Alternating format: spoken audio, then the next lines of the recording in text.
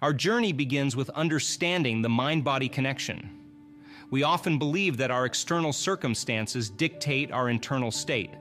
However, this perspective is a bit misleading. In reality, the change we seek is not outside of us, it's within us. Our internal state shapes our external reality. Many of us spend our lives waiting for external events to make us feel whole, successful, or loved. This approach to life is rooted in a cause and effect paradigm, influenced heavily by consumerism and external programming. We mistakenly equate momentary pleasure with true happiness, not realizing that they are vastly different. This misunderstanding leads us into a cycle that resembles addiction. When we experience emotional trauma, we seek relief in external stimuli, be it substances, shopping, or other habits.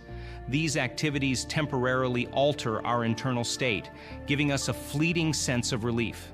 But this is a short-term solution. Over time, our brain's pleasure centers become desensitized and we need more of these stimuli to achieve the same effect. This cycle can make us feel trapped and powerless. The key to breaking this cycle is self-awareness. By becoming conscious observers of our thoughts, behaviors, and emotions, we step out of autopilot. This process is known as metacognition.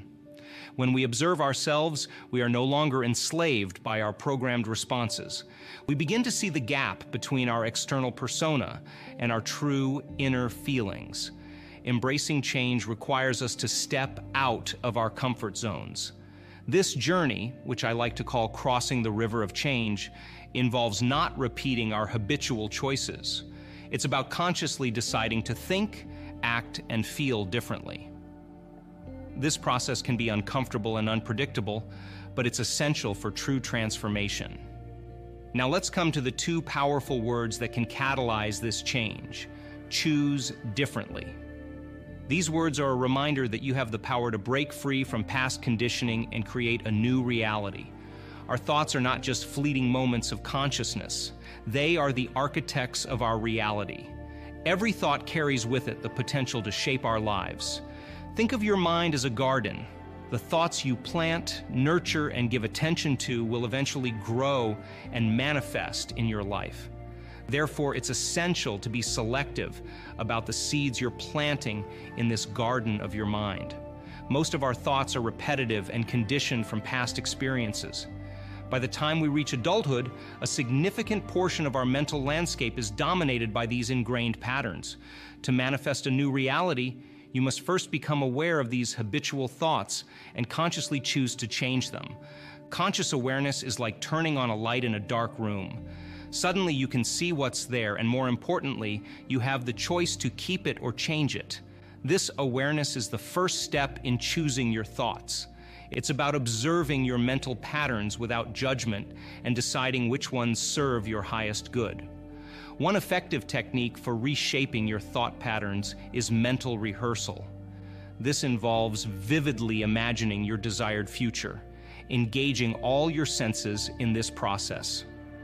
By regularly practicing mental rehearsal, you begin to create new neural pathways in your brain. These pathways eventually become so strong that they overshadow the old patterns, making it easier for you to think in alignment with your desired reality. Imagine yourself achieving your goals. See it in great detail. Where are you? Who is with you? What are you doing? How do you feel? This practice is not mere daydreaming. It's a deliberate act of creation. Each time you engage in this visualization, you're building the infrastructure in your brain to make this imagined reality more attainable. Another powerful tool is the use of affirmations and positive self-talk. These are simple yet profound statements that reinforce your ability to create the life you desire. Phrases like, I am capable, I am worthy, and I am creating my reality can have a profound impact on your subconscious mind, gradually altering your belief system and your reality. As you embark on this journey of choosing your thoughts, be prepared for resistance. Change is often uncomfortable even at the mental level. You might find old patterns trying to reassert themselves. This is normal. Recognize these moments as opportunities to reaffirm your commitment to your new path. Actions are where thoughts take physical form. They are the bridge between the internal world of your mind and the external reality. Every action you take is a statement of your intention, a physical manifestation of your inner state. Much of our daily behavior is habitual, carried out without conscious thought. To manifest a new reality, it's crucial to become aware of these habits and ask yourself whether they align with your goals. If not, it's time to choose different actions. Discipline plays a key role in this process. It's about choosing actions that align with your future self, even when they feel unfamiliar or challenging. This might mean waking up earlier to meditate, choosing healthier foods, or dedicating time to develop a new skill. Start by creating a new routine that supports your goals. This could involve setting aside time each day for activities that bring you closer to your desired reality. It's not just about doing different things, it's about doing things differently. Remember, small steps lead to significant changes. You don't have to overhaul your life overnight. Consistent, small actions taken daily can have a profound, cumulative effect. Celebrate each step you take, recognizing that each one is a building block in creating your new reality. As with thoughts, changing your actions will likely meet with resistance.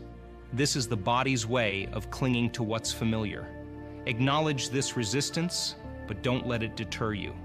Each time you choose an action that aligns with your new reality, you strengthen your resolve and your ability to manifest your desires. Emotions are the language of the body. They are the chemical expressions of our thoughts and perceptions. To manifest a new reality, it's essential to align your emotions with your aspirations.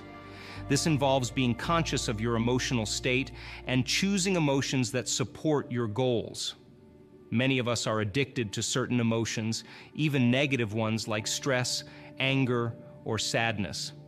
These emotions are familiar and, in a way, comforting, but they anchor us to our past. To create a new future, you need to break free from these emotional addictions and cultivate emotions that resonate with your desired reality. Begin by identifying emotions that align with your goals. If you desire success, cultivate feelings of confidence and achievement. If you seek love, nurture feelings of compassion and openness. This process involves consciously generating these emotions, even when they seem at odds with your current reality. Gratitude is a particularly powerful emotion in this transformation. It shifts your focus from what's lacking to what's abundant in your life. By practicing gratitude, you open yourself up to receiving more of what you're thankful for. This journey of emotional transformation is not always smooth. You might encounter moments of doubt or revert to old emotional patterns. These moments are part of the process. Acknowledge them, learn from them, and return to choosing emotions that align with your new reality.